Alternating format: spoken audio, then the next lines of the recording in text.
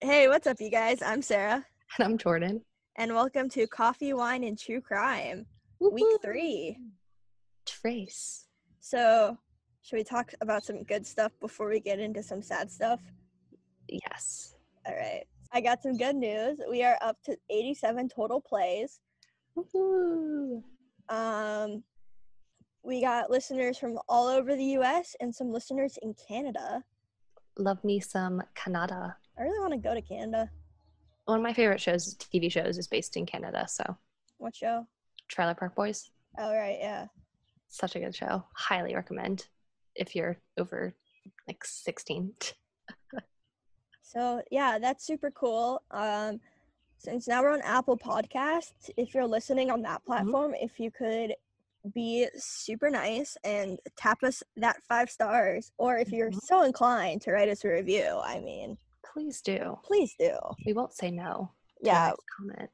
exactly. So yeah, what are you drinking? I am drinking a brisk iced tea with lemon. That's my caffeine because it's just it's warm out. I'm feeling like an iced tea kind of vibe, you know. Yeah, Tea coffee kind of same category, so Close it's enough. fine. hmm How about you? Um, I have a Dunkin' co- iced coffee with three creams and two French vanilla swirls. It's intense. Mm-hmm. So, should we just get right into it today? Since Yeah, do we have some things we want to talk about first? yeah, yeah. So it's definitely been, I think, an emotionally draining week Mhm. and a half. I think for everyone. Um, Yeah. but I mean, like the last week and a half has just been making me kind of check my, I guess, my white privilege. hmm And like Um, reevaluate a lot of the things that we experience in our everyday life. Exactly, because like as a white woman, we're never gonna really know what the African American community goes through on a day to day basis with racial prejudice. Mm-mm. Um, and we never will, no matter how educated we get on it. Yeah, that's Um, why like I really like the quote. Um, I've seen it on Instagram, so I may get this wrong because it's just off the top of my head. But it's like, I understand that I will never understand. However, I stand with you, or something like that. You you you know what I'm talking about. Yeah, I really like that. I've seen that quote. too. So, but I mean, I've been reading, educating myself this last Mhm. week. I've been signing petitions. Um, hmm Me too. doing what I can. Um, so hopefully, like that will spark some change. I encourage everyone, if you can, to go down and go protest if you feel safe. Um, donate money if you can. I would. I just don't have any money Yeah. um, since I'm living off my savings. And or even just like open and it doesn't have to be necessarily some big thing like i know there's a lot of pressure right now to like make it all about social media or like if you don't say anything then it's like a big issue and it's just you know just think to yourself evaluate with yourself what you've experienced what you you know what other people are experiencing and maybe open up a conversation with like your close family and friends about the state of the world and what's going on and how we can behave better in the future exactly. I mean, we're never, you know, the ones that we should be listening to are the people who go through this on a daily basis and not, you know, white people Yeah. um, who don't have never experienced that kind of racial prejudice against them. So Mhm. I just felt like we needed to say something because um, It would have been wrong if we didn't. We it would, yeah, it would have been wrong if we didn't address it.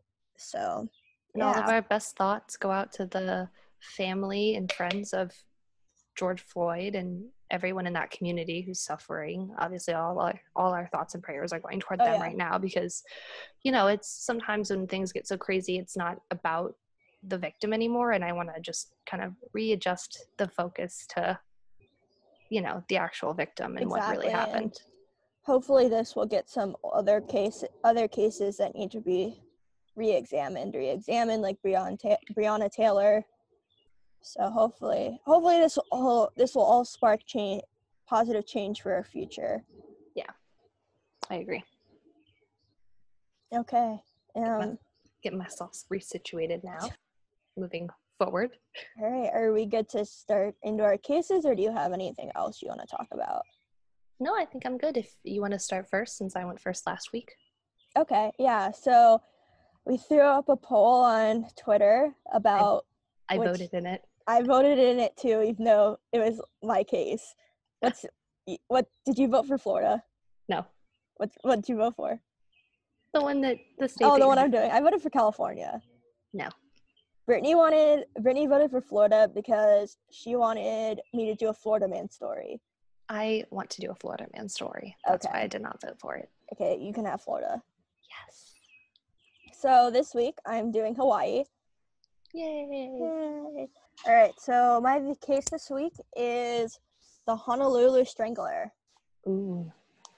So I just want to thank Apocalypse in Review podcast for this recommendation. Um, so just some general facts about um, this case. It's unsolved. Ooh. Yes, finally doing an unsolved one. So that's why it's all long. Um, it's the first Hawaiian serial killer.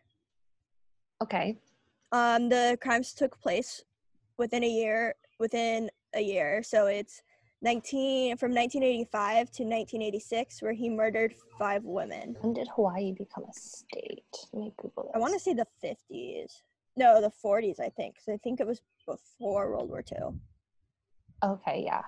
Just thinking like chronologically, like if it's the first serial killer, like in comparison to like the East Coast, Hawaii hasn't been a state for as long. Right. Yeah. So it would be yeah, 1959. Okay. So the way I'm going to do this is I'm going to go through the timeline by going by going through the victims and then um, the police investigation. Okay. Like after he did his last killing. Okay. So the first victim was Vicky Gail Purdy. She was 25 when she was killed. Um, just some background on her. She was a military wife, uh, married to Gary Purdy, who was an Army helicopter pilot. Hmm. Um, her husband said that she was not a woman to be messed with and very strong and streetwise. And according to her brother, she was outgoing and like had a fast-paced lifestyle. And her marriage with Gary was good, and she was described as the backbone of her family. Okay. So just an overall really good uh, woman. And a necessity, like a needed member of her family. Exactly. Not that anyone isn't a needed member of their family, but like, like I just dug myself a hole.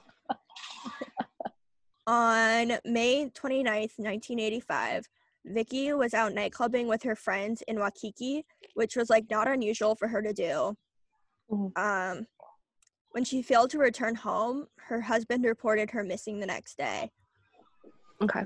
So the police like immediately jump on trying to find her. So like they found her body. Like they essentially found like her body the day after she was murdered on May 30th. She was last seen getting into a taxi at the club, who then dropped her off at the Shorebird Hotels where her car was parked. She was last seen at the hotel at 12 a.m. and her um, car was found in the parking lot. Okay. So her body was later found um, on May 30th, so the day after she was likely um, taken and murdered, on the embankment of the Keehi Lagoon, um, which I looked at a map. It's right next to the um, Honolulu International Airport, which will come into play a little later. Ah, okay. Um, she was found just wearing her yellow jumpsuit from the night before. Her hands were tied behind her back, and it was later examined that she was raped and murdered. Um, and the rope to bind her was a parachute rope. Oh my god. So she worked at a video rental store that um, dealt also pornographic movies. So her husband thought that it might her murder might be related to um, where she worked. Um, like it was some, I guess, creep who um, rented porn and some you know killed her. Um, they also Yeah. he also thought that because two women were stabbed inside the same store a year before in 1984 Okay. but this amounted to nothing and then the case went cold yeah, if the circumstances are different, just because it was in the same place doesn't mean they are inherently connected. Exactly. Um, so the next victim um, was Regina Sakamoto. Um, she was 17. Oh my god. Yeah. So on January 14th, 1986, a few months later after Vicky, um, she was reported missing um, after she um, did not go, like, not turn up for high school. So the last time anyone heard from her was um, her boyfriend at 7:15 on January 14th to tell him that she would be late to school because she missed her bus. Um, she was characterized as someone who was very pretty, dark hair with a big smile. She was shy but extremely friendly and was really close to her mom. So Okay. her body was found the next day on January 15th, 1986, also at Keehi Lagoon. She was wearing a blue tank top and a sweatshirt, but was nude from the waist down. She was also raped and strangled with her hands tied behind her back. Jesus. Oh my god. That's really, really bad. So at this point, the police that the police suspect it's the same killer as Vicky's because of the MO. hmm The next murder happened only about a week and a half later. hmm Third victim is Denise Hughes, 21. So she was a secretary for a telephone company. She was active in her church, and she was said to always have a smile on her face. So Okay. she was um, reported missing after not showing up for work on January 30th, 1986. And she was last seen having dinner with her husband, who was stationed on um, a ship in Pearl Harbor on January 29th. Dang, these girls were married young. Yeah, I mean, military. Yeah. And it was a different time. It's just funny to think about. Like, I do not feel like I could be married right now. Exactly. Me either. So her body was found a few days later on February 1st by some fishermen in the Moanalua stream. Her body was wrapped in like one of those blue plastic tarps hmm that construction workers use, and her body was decomposed. Okay, Um, so was- water is definitely a theme here. Yeah. Like bodies of water. hmm And she was still wearing the same blue dress she was last seen in. There were marks on her hands from where she was tied up, and yet again, she was raped and strangled. So at this point, like I said before, the police know at, they have a serial killer on their hands. So they establish a 27 man task force on February 5th. And the task force also got help from the FBI and the Green River Task Force um, up in Washington, who was hunting the Green River killer at the same time about a month and a half later, the next victim is Louise Medeiros, who was 25. Okay, so she was from the Honolulu area, but she was in Kauai. Kauai? I Kauai? think it's Kauai. Kauai, okay. So she was from the Honolulu area, um, but she was in Kauai to meet her extended family after her mother died. She took a flight back to inter- the Honolulu International Airport on March 26, 1986, and like just disappeared. Um, the police think that she disappeared from the bus station near the airport as she was that's the way she was getting home Okay. and she was three months pregnant and had was a single mom of two kids. Oh, her um, body was found on april 2nd in the Waikele stream under an overpass by a road paving crew. Her hands were tied behind her back and was nude from the waist down sexually assaulted and strangled. So like i said before that the Keehi lagoon was right next to the airport. So he's kind of um, working within that area Yeah. And has the ability to get make a quick getaway if he needed to. hmm So at this point, the police decide that it's best to start a sting operation. So they used undercover policewomen to hang around the Keehi Lagoon as well as the Honolulu International Airport to see if maybe they could try to, I guess, get abducted. Mhm. Um, because he's abducting white women. Yeah. The operation failed and the final victim was found a month later. So the last victim, victim number five, is Linda Pesce, Pesce, and she was 36. So a little bit older than the other victims. Yeah. She was um reported missing by her roommate um on April 30th, 1986 as she did not come home from work the previous day. She was characterized as carefree, streetwise, and a like knockout beauty, and she had one daughter. Okay. The police found her car parked near the Nimitz Highway near the airport, like on, parked like on the side of the road, like she broke down. Mhm. A few days later, a man who was a mechanic, and I do have the name for this guy, but his name was only out by like one or two sources, so I didn't feel comfortable um, reporting his name. So we're just gonna call him the mechanic. Okay. the like the guy who was the mechanic he was 43 and he contacted the police and said a psychic told him where linda's body was he led the yeah another psychic Hmm. like my first case Yeah. so he led the police to sand island but he did not tell them where the body was even though like he knew but he told the, like he was like totally staying away from this one area and then when the police like when he left the police went back to that area and found her body like in the area he was trying to get them to avoid Then why did you call them in the first place and bring them to that area? no clue It's like somebody who wants to get caught. yeah so she was nude like cr- there's a concrete block on top of her and her hands were behind her bound behind her back and she'd been raped and strangled. So after she was found, the police set up roadblocks on the um, highway on the highway her car was found to question commuters, and there were a few witnesses. So one witness, a few witnesses remembered seeing Linda's car with flashers on around 7 p.m. So like I said before, it was likely her car was broken down. hmm And um, witnesses also said they saw a light colored cargo van parked near Linda's car when it was parked on the side of the road, on the side of the road, and described the driver as white or mixed race, me- uh, a man, medium build, in his late 30s. Okay. The FBI Behavioral Science Unit, um, yes, Our favorites. our favorites, um, created a profile on the killers. He was in his 30s or 40s, Caucasian or mixed race, saying the killer was oppor- opportunistic but organized because he left very little evidence and lives or works in the area between Sand Island and like around the airport. Okay. They said he was having problems with his girlfriend or wife and had a clear, cl- uh, no criminal background. Okay. So the mechanic fit the description by the witnesses and the FBI profile. Mm-hmm.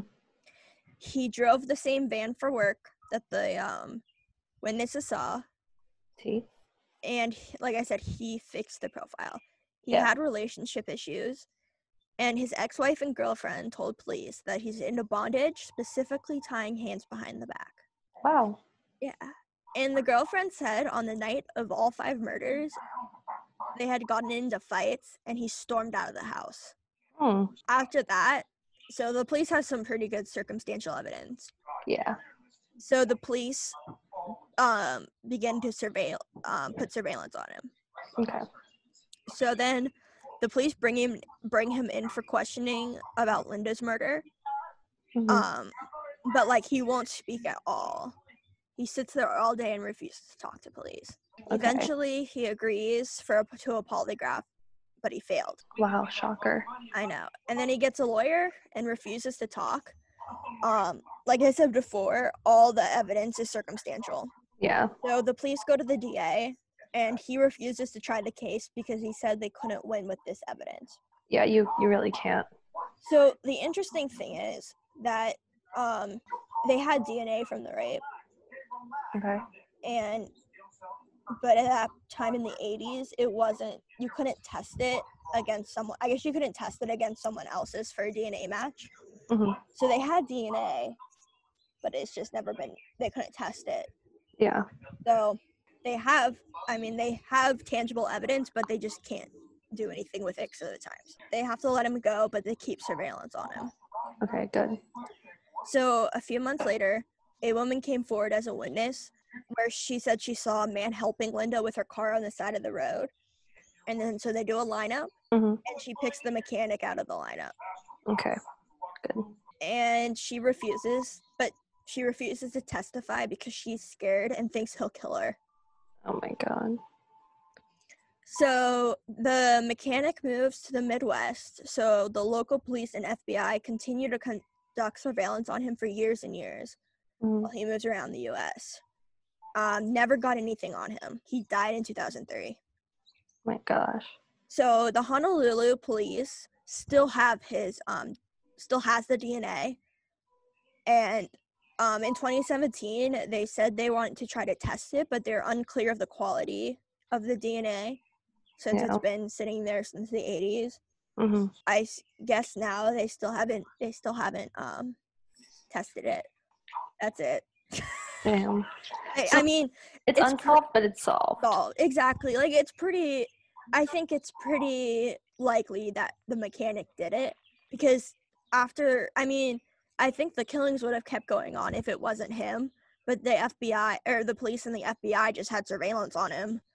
So he stopped. So yeah, so he stopped. So I think it's pretty likely that it was him. But they never even would have like had him on their radar if he hadn't gone out of his way to get their attention onto him. Yeah, but I mean, if you notice other serial killers have done that too. Yeah, I Like know I get. BTK, Son of Sam. I get why he would do it. Like when you're that twisted, anything kind of goes, but it just defeats the purpose of what you're doing. Not that like I support what he was doing, but like yeah, you're yeah, gonna think that they- way. Yeah, I mean, honestly, they wouldn't. He would have probably never been caught and could have kept killing if he didn't get involved. But Mhm. But that's what happened. They get like they get in these vibes where they're going and they're doing well and like no one's detecting them. So then they get cocky and their ego goes up and they like are oh let me get involved and stick my neck in just to fuck with them and then it just makes him look even more suspicious. exactly. So I and I also doubt there was no psychic. oh yeah. Yeah, hundred percent. So my sources were this book was a book called Honolulu Homicide, True Honolulu Homicide, truecrimedatabase.com, the Star Bulletin newspaper, se- serial killer, serial dispatchers, Wikipedia, and then my favorite murder podcast. Um, Karen talked about it, so I listened to her too. Oh cool. So that's that. So Very thanks for the recommendation. It was a really interesting case, and I'm glad I got to talk more kind of about and find more out about the victims than I have in the past. hmm Um, so I'm glad I got to talk about the victims a lot. Yeah, it's cool that you had the information out there. Yeah. for them. In my case, there is not. I don't even have victim names. Like I don't have anything. And there's it it makes more sense as I get into it, but yeah. So before I start, to all my American horror story fellow watchers and friends, I know Sara is not one. Uh, yeah, you're gonna have to explain a little bit to me. It's but there's a so there's a connection with this case to season six of American Horror Story, which is called Roanoke, and I'll get into like how it's connected once we get into it. Um, but this is the case of the Lethal Lovers, Ooh. Dun dun. and it takes place in Grand Rapids, Michigan, Okay. and it involves Gwendolyn Graham and Cathy Wood. Gwendolyn Graham was born on August 6th, 1963, and Cathy Wood was born on March 7th, 1962. Um, I couldn't find much on their early lives, but I know that they met um, when Gwendolyn moved to Michigan and started working at Alpine Manor as um, like an like a nurse's assistant because it was an elderly person's home, and they became friends. And by 1986, their relationship had turned romantic. Ooh. Yes. So all of the accounts of everything involving the details of the crimes here from here toward like the end are going to come from Wood only. Okay. So she's the Um, only one that talked. Yeah, and I'll explain like I'll explain the crimes and then I'll explain like how it what actually happened came to light and like how they got caught. But getting into the case, um, so the first victim was an elderly woman who had Alzheimer's who was killed in 1987, so just a year after their romantic relationship started, um, from being smothered by Graham while uh, Wood watched or kept kept guard. Um, and since the death appeared natural, nothing was deemed out of the ordinary. in the coming months, according to Woods, Graham killed more than four patients between the ages of 65 and uh, 97 years old who all either had Alzheimer's or were incapacitated in some way. Oh, she was like an angel of death. I think that's what they call them. Yeah, basically. Um, and the reasoning behind this is so weird. Um, so they would pick their victims based off the first letter, like their initials, basically, and would try to spell the word murder with those letters. So like Oh, so like was the first victim like like Mary or something. yeah, that. yeah. Um, and then the, this is where like the American Horror Story connection comes in. So Roanoke is like this young couple. It's like a documentary re- reenacting this young couple who had moved to this house in um, Roanoke, North Carolina. And oh, I was about to say Virginia, but then you didn't say Virginia, so I'm kind of happy. right, and then uh, they like see all these ghosts and have all this crazy stuff happen from like the people who had lived in the house previously. Mhm. And one of the people who had lived in the house were these two nurses who would kill elderly people and try to spell murder with them. Okay. But like it's fictionalized from a different state, so like it ended differently and like what happened in the show is different. But like I thought that was a cool connection because I'm a big American Horror Story fan I might actually have to watch that season because that season kind of sounds up my alley. Honestly, for all my American Horror Story people, Roanoke is not the season you want to watch. Okay, what is the season I want to watch? Um, all of them. Okay, well, my dad's almost done with Freak Show, so right? Is that what it's called, Freak Show? Yeah. So maybe I'll watch the next season with him. I like Murder House, Coven, Hotel. A lot of people either love or hate Roanoke. I think it's okay. Um, what's the next one? Cult is good. Apocalypse is really good. And then 1984 is okay. Is that is 1984 based off George Orwell's book? No, I don't think so. Okay, I was just wondering. I haven't read the book though, so I could be wrong. The season's about like a summer camp in the 80s. Never mind. um so then so then they go out of their way to like start m- murdering these people based on their first initials. And the reason they do this is because they think that it solidifies their bond and their love. And like since they've helped murder somebody together they have that connecting each other for forever. And like they have that secret that keeps them together for forever basically. So like Hmm. super insane. But there could be other things that could solidify your love. yeah i mean well it's in the 80s so like marriage wasn't a thing and i'm sure like True. having to be But murder as a should- homosexual but Murder should never be a thing. yeah that, that that's not an excuse for murder um so then get this spelling out murder was too hard for them so they gave up and just would refer to their victims as days so at the end of their crimes they would basically like after all their victims uh it would be like i love you forever and five days Okay. Which is like just so weird And like the days would be when they would kill them, or no like oh, I they just they would just pick. five. So- five days isn't like five victims oh, okay. because spelling murder was too difficult. So they didn't even like fully do it. They just gave up. Um, so um, these crimes happened, and that was in like 87 ish, and it happened pretty frequently, like all within kind of a short period of time. So then in 1988, Wood's ex husband came forward with information saying, like, hey, my ex wife told me about all this crazy stuff that happened. You need to know about this. And then they brought Woods in for questioning, and that's when she told them everything that we know now. And her perspective um, was that like portrayed Graham as being emotionally, physically, and sexually dominant in their relationship, and kind of pinpointed Graham as like the mastermind of everything. Okay. Um, so then, after this information came to light, two bodies were exhumed um, and examined by the medical examiner uh, to determine whether or not it was a homicide. Um, and even though it was unclear, which is pretty common in cases of smothering, Mhm. um, the I love this. The medical examiner decided to rule them both as homicides, anyways.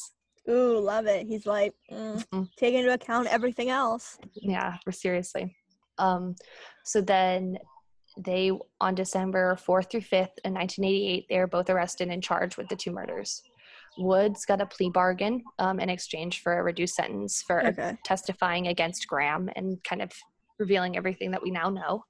Um, so Graham testified that it was all a mind game by Woods, but then was rebutted by her new Graham was by Graham's new girlfriend, stating that she had admitted to her new girlfriend about the five murders, Okay, so everything Wood said is true. basically Like that we know from of. what of, yeah. hmm Um, so on December 3rd, 1989, or November 3rd, 1989, um, Graham was found guilty of five counts of murder and one count of conspiracy to commit murder and got five life sentences and is housed at Women's Huron Valley Correctional Facility in Pittsfield Charter Township, Michigan. Oh wow. Wood was charged with only one count of second degree murder and one count of conspiracy to commit murder. She was sentenced to 20 years uh, for both counts and uh, was up for parole in as of March 2nd, 2005. Uh, she was incarcerated at Federal Correctional Institution Tallahassee in Florida, which is minimum security, and then she was actually released in January 2020. And Oh dang. So she was just just released. hmm and is supposedly living in uh, South Carolina, which has some people uh, scared about whether or not uh, she would kind of kill again. Okay, but Uh, she's what at this point? Like A lot older. Yeah. So, so before we go any further, I do just want to uh, thank my sources. I believe it was good old Wikipedia, the Odyssey Online. It was either People or People Magazine uh, was another one that I got info from. So big thank you to all them. But yeah, I don't think at this point this lady is about to about to try to kill more people after after all that she's gone through. But it's also like the reasoning behind it, like thinking that that like killing people together would solidify their bond and their love. Like that's so whack. Yeah, I mean, I've always thought angel of death cases were like always super interesting. Just like that, you know, you're being hired and you're expected to help people, then you go ahead and kill them. Yeah, people's loved ones, like the most vulnerable members of a population other than babies, Yeah, like for age wise at least. yeah, yeah. Like I've I've seen like other angel of death um murderers have like said that they they think they're helping them. That was one of the things. Is Yeah. she one of the her lines was the first time she was like, she's not suffering anymore, but like that's not your decision. Yeah, exactly. So I think the psychology behind it is really interesting. Yeah, and there's definitely something really off there with these with the reasoning behind why they did that. Oh, 100%. Um, and yeah, I couldn't find anything on the victims' names. I would assume that it's because they were elderly and that they Mhm. probably, you know, before social media and everything, that information has probably just been lost and the families just want to mourn and grieve in peace. And I respect that. Yeah, definitely. Um, so not to glorify these actions, like minimize the victims, I just couldn't find anything and didn't Mhm. want to search too deep or expose, like say people's names if they didn't want their name said, kind of thing. So exactly. but yeah, Well- for Michigan. Yeah. So six states in. Woohoo! Woo. Was that 44 more to go? No, Yeah. 46. There's 50. No, there's 50 states. I don't know why I thought there was 52. I'm stupid. Someone didn't pass geog- civics. What do, what do you have going on this week? Nothing much. Just work and work. Dealing. Yeah. Trying not to get sunburned. What about you? Uh, my MRI on my knee on Thursday that we thought was last Thursday. Or, Very yeah. fun. So we'll see if what comes out of it. They're thinking it's just a ligament sprain, but we Mhm. just want to make sure just with my injury history. Yeah. So I'm starting Hopefully to have dreams of yeah. I'm starting to have dreams of me getting hurt. I had a dream last night that I got a really bad concussion. It's That's how good. That's really bad. So on brand. That's really bad. But it's so on brand. That is. That is very on brand. All right. Well, as always, Thank You you, for listening. yeah, thank you for listening.